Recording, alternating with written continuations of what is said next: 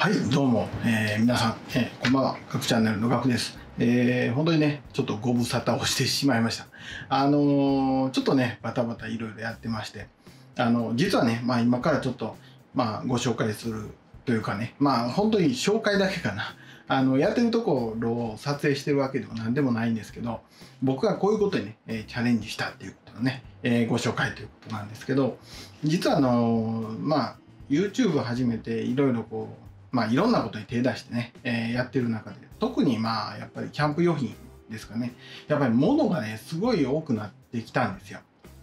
で、えー置く場所がね、やっぱりないということで、えーどうしようかどうしようかって悩んでて、まああの、庭にはね、あの、こう、あの、小屋っていうか、あの、物置、えーはあるんですけど、まあその中も結構いっぱいになってしまって、で、あと置けるところって言ったら、あの、もうね、えー限られてくるっていうことで、どうしようかということを考えたときに、あの、あの、屋根裏ね、屋根裏をなんとか物置に改造できないかということで、えー考えました。で、これもね、あの、当然業者さんに任せたら結構お金がかかるっていうことはもう分かってた話なんで、まあ、なんとかね、まあこれは僕が、あの、まあ、とりあえず一つ目はお金の問題もあるし、えーもう一つは僕がちょっとチャレンジして、一回自分で屋根裏できないかっていうね、えーっていうのを思って、まあ、もともとそういう興味があったので、えーそれでね、えーちょっとやり始めましたっていうね、えーっていうことの、えご紹介です。で、えー実際ね、えー今から、今どういう状況かっていうと、あの、とりあえず屋根裏に上がるね、あの、階段、あの、なんていうかな、つ釣り階段、なんて、なんていうの、こうガチャンって引き出して、こう、出す階段なんですけど、えーそれをね、えーつけました。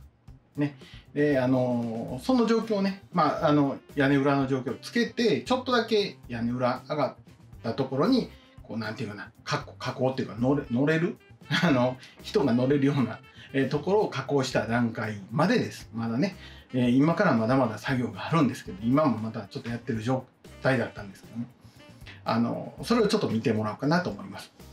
で、まだね、あのーなんていうかな、こうこういうことをやってたら、まあ他の皆さんもね、えーやろうかなっていう人も出てくるかもしれないんですけど、え注意してほしいのが、えー何点かあります。まあ、あの、法令関係ね、あのーとりあえずはお住まいの市町村のところの、えーなんていうかな、建設し、建築指導課かな。なんか、なんかそんな課があるんですよ。でそこ行って相談されるのが多分一番いいですね。で僕の場合は言われたのは、あの、基本的に多分ね、ネットで見ても、天井高は1.4メーター以下かな。以下、以下にしないとダメかな。ね。あの、それ以上高くなってしまうと、物置じゃなくて部屋になってしまって、まあいろいろ固定資産税とか、まあいろんな、こう、もしかしたらあの、えーなんていうか、構造計算とかなんかいろんなものが必要なのかもわかんないんですけど、とりあえずいろんな面倒が出てくるんで、1.4メーター以下、あのこう天井高ね、以下、未満、ちょっとわかんないけど、何せ1.4メーターよりは低くないと、天井がね。で、あと、あのーなんていうかな、その天井の、その下の階、ね、まあ、あの、1階建てだって、1階建ての屋根裏だったら、1階の床面積えーの、えーその、なんていうかな、半分以下、ね、えーに、あの、天井裏の物置はしないとダメなんですよ。あの、それはね、どこでも書いてました。あの、ネットでね。で、あと、もう一つね、これは、あの、ネットで調べた時には、あの、書いてたんですけど、これもいるとこといらないとこあるみたいなんです。市町村によってね。あの、天井に上がる階段を、あの、据え付けた階段。まあ、本当の階段。えーこれだったらダメですよっていうとこもあるみたいです。で、あの、まあ、僕の場合は引き出し式のね、こうガチャンって下ろす、あの、階段にしましたけど、まあ、あの、それじゃないとダメですよっていうところもあるみたいなんで、これもちょっと一回ね、えー確認をしてもらったら、えーいいかなと思います。まあ、あの、奈良の、僕住んでるところの場合はね、あの、固定式の階段でもよかったんですけど、その固定の階段なんかつける場所なんかないんでね、まあ、どっちにしろ、まあ、引き出しの階段になっちゃったんですけど、まあ、あの、ね、えーそういうことです。それ注意ね。で、あと、えー僕の場合は言われたのはね、余剰空間に作らないとダメですよって言われました。で、この余剰空間っていうのはね、結構ややこしくて、で、これもね、どういう風なところに作りたいっていうのも、こう家の図面をね、えー、もう、その窓口持ってって聞くのが一番早いんで、やっぱりあの、それはね、えー、された方がいいと思いますね。まあ、万万が一ね、あの、違法建築みたいなことになっちゃったりね、えー、したら困ると思うんで、あの、そういう確認はね、えー、しっかりしてから、あの、やってみてください。であとは、あの、図面ちゃんとね、もともと家の図面をしっかり見て、あの、なんていうかな、あの、こう、ちゃんと、ここの、こう、柱は、あの、しっかりね、えー、してるなとか、えー、ここの柱は通ってるけど、下にね、全然壁とか、あの、こう、下からね、上まで、天井裏まで、こう、えー、一本の木でね、ドーンと立ってるような木の支えがないなとか、まあ、頑丈かどうかの、なんとなくね、えー、そういうのは図面を見たら、えー、わかると思うんで、で、そういうのを見ながら、こう、えー、屋根裏のどこら辺にどういうものをこうね、えー、置こうかなとか、どこ、あの、なんていうかな、床にしようかなみたいなのを考えたらいいと思うんですけどね。はい。じゃあ、まあ、せっかくなんで、ちょっともう今ね、すっごい暑いんですけどね、あの、屋根裏ちょっとね、えー、今、作ったとこだけ、えー、見てもらおうと思います。本当は、本当は作ってるとこはね、あの、撮影しようと思ったんですけど、もう、とってもじゃないけどね、無理でした。あの、あの、石膏ボードや、あの、切ったりしてたら、もうせ、あの、粉塵がすごくてね、もうとてもそんな状態じゃなかったんで、もうちょっとね、できたところになりますけど、あの、見てもらおうと思います。ではでは。はいどうも。えーとねいつも座って喋ってるのがあそこであのどこにねこれままだベニヤとかいっぱい置いてますけどこの天井の上にここ あのにあの穴を開けて、えー、ねあのつけてみました。であのね。でえっ、ー、とこの棒で天井のやつを下ろします。であの何ていうか見えるかな？ちょっとね、失敗したとこもいっぱいあるんですよ。あの、まあ、素人工事なんでね。まあ、後でまた上から見てもらったらいいと思うんですよ。切るのがね、すごい大変だったんですよ。よあの、木だったらよかったんですけどね、この天井の上のところね、これ石膏ボードがまず、あの、入ってるんですけどね。あの、その上に、中にね、あの、軽点っていう、あの、鉄の、天井をね、こう吊ってるやつがあるんですけど、ととととと、危ない危ない。ね。えー、そういうやつがあってね、なかなか天井をね、こんだけのサイズ切るのが結構しんどかったんですよね。はい。で、まあ、あの、これは階段自体はね、えー、パナソニック製の階段、あのー、ユニットになってるね、えー、階段にしました。えっ、と、まあこんな感じでね、えー、上がってきましたけど、まあもともとのユニットはここまでね、ここまで。で、えっ、ー、と、この木のフレームをまずね、えー、組んでいきました。ね、え、この木のフレームね。で、まあ、これが太い柱になりますけど、あの、まあ、これ、なんていうかな、まあ、こういうふうにね、まあ、このユニットの説明書にこういうふうに組んでくれって書いてたんで、その、えー、通りにしたんですけど、えー、まあこういう縦の木。このサイズもね、えー、決まってますね。でそれにこういう木枠をまあこうボルトで打ち付けてるんですね。こういう木枠を作って。ね。でえっ、ー、とまあ、え、この木枠をこの縦のやつで釣ってるって感じですね。釣ってるって感じ。ね、えー、になってます。こんな感じ。でこっちなんかこっちはね僕はあの 2x4 のあの木であのちょっと待ってくださいね。あの横横がねもともと木がないんで、えー、2x4 の木材でちょっと今ここれねとりあえず2本まあチャッチ買ったらまずいなと思って2本。でこういう金具はね売ってるんですよ。そんなに高くなくてね。でこれをあの元々のこの木に打ち付けて。で、えー、とこれで階段のあのを釣ってる感じですね。でこんな感じです。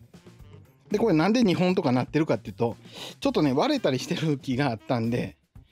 えー、ちょっとね、えー、失敗しちゃってるんで、えー、ちょっと余計めにやってます。でこれもよくわからないんですけど、コース、えなんだ、なんとかビットネジっていうね、こういうネジ、まあ、長さが違うんですけど、えこういうの買ってきたんですけど、これね、あの、木割れしにくいとかこう書いてるんですけど、結局やっぱり木割れしちゃうんですね。こうやってね。だからあの、結局2回目打ったのはこの長いやつね、えー、2回目でつけましたけど、これはちゃんと下穴を、えー、まずドリルで下穴開けてからネジ打ってます。やっぱり下穴は開けないとダメですね。はい。で、えー、こんな感じであって。で、あとはあの、まあ、これも良かったのかどうかわかんないけど、とりあえず20センチ間隔くらいで、まあ、僕が乗っても大丈夫なんよね。あんまり、やっぱり重たいんで、僕も。であと荷物も乗せるから当然ね。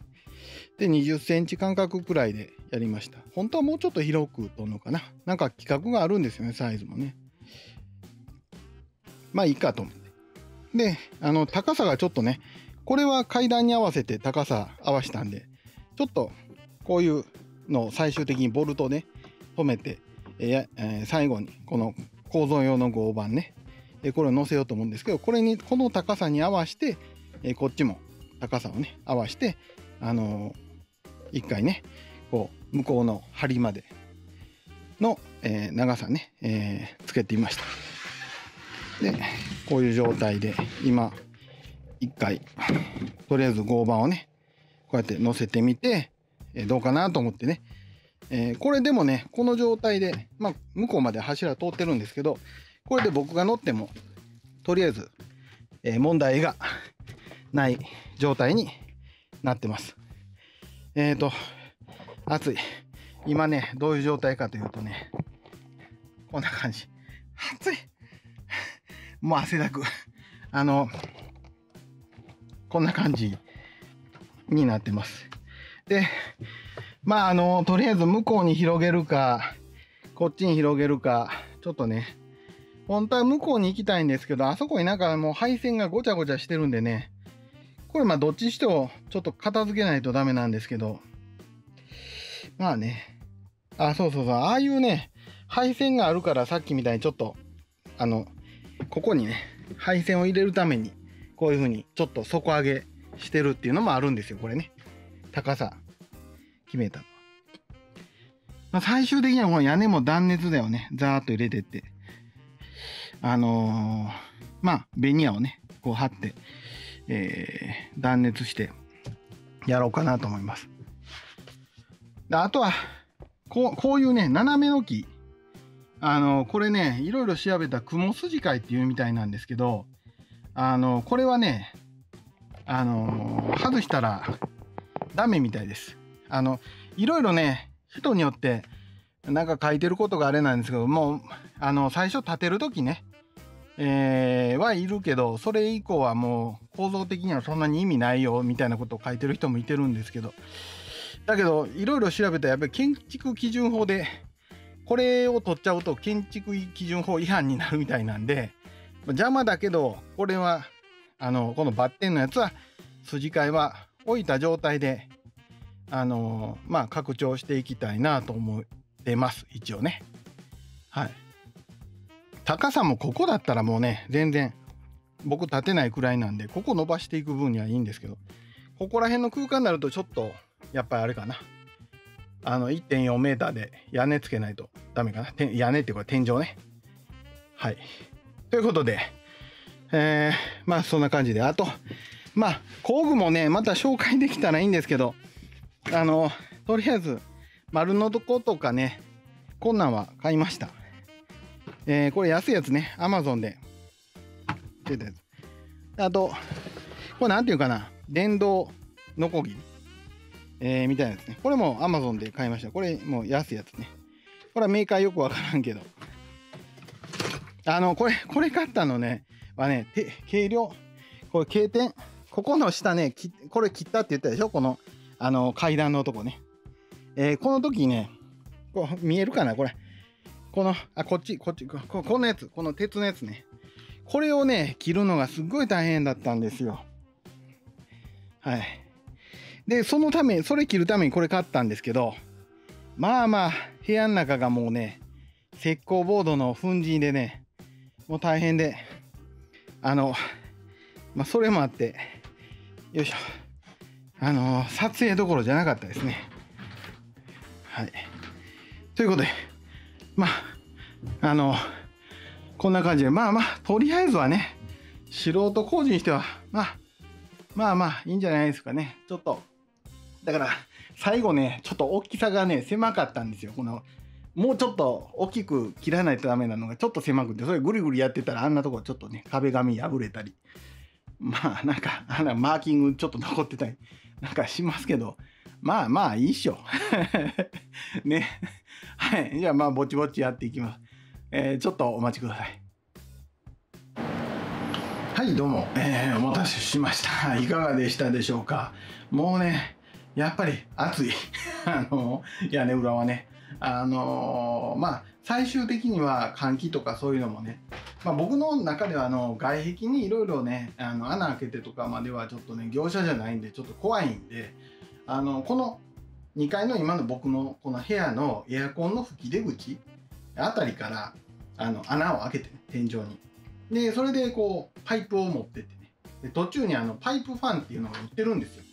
あの工作とかやる人が粉塵とかをこう吸い上げたりとかあとまあ天井のその空調空調換気みたいなやつで使うね。まあアマゾンで見てたら数千円とかまああの1万5 6千円までくらいのやつでね。あのまあ高いのはもっと高いのあるでしょう。まあそのくらいまでの中であのこうなんていうか風圧っていうか風量の調整もこうダイヤル式でね、え決めれたりこうできるやつもあったんで、まあ、そういうのをね買って、えー、この2階のエアコンの吹き出口からこう上に空気を送ってあげたらいいかな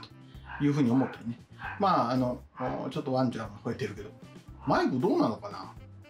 今あのあれですね。DJI のあのちっちゃいマイクでね、えー、撮ってますけど ワンちゃん吠えてるけど入っちゃうのかな？ね。はい、余談になりましたけど。あのそんなんでね、えー、とりあえず、ある程度の、あの暑さ、暑さ対策ってね、えー、しようと思います。あとは、断熱材ね、えー、しっかり、まあ、そのあたりは、あの、ちょっとね、お金かけて、えー、まあ、自分でいろいろやっていこうかなと思います。えーとね、こっからの作業はね、ある程度、もしかしたら撮影できるかもしれないので、まあ、あの、ちょこちょこね、撮影するか、えー、してね、いこうと思います。あの、本当にね、最初の工程はね、撮影しようと思ったんですけど、粉塵がすごくてね、あの、全部養生したんですよ。こうカーテンみたいなね、あの、ビニールの。あの、養生してたんですけども、結局はもうダメですね。石膏ボーダー、やっぱり切ったらね、すごいですね。あの、どうしようもない。だからもう結局掃除してやっとなんか撮影できるような環境にまた戻ってきたっていうね、えー、状態です。であとはね、まあいろいろね、えー、その、なんていうかな、動画上げてなかった間にもドローンのネタだったらあのドローンのあのななんだあの許可の、えー、また更新更新じゃないなまた新規でね、えー、撮ったんですけど、えー、その更新作業みたいなやつをやったりとかまあそんなんもあとまあちょこちょこっとした内容をいろいろやってたんで、えー、そういうのもまたね、えー、追って、えー、ご紹介をできたらいいかなと思います。当分はね、ちょっとね、屋根裏の作業をね、えー、やりながら、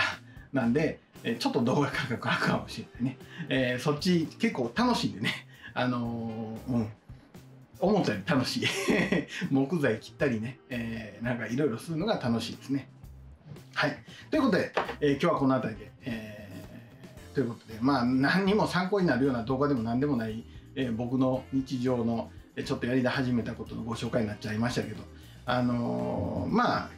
基本的にはあの皆さんのね、えー、お役に立つような動画をね、えー、まあ情報としてあげれたらなと思ってやってますんでまたよろしくお願いします。そしたら今日はこの辺で失礼します。さようなら。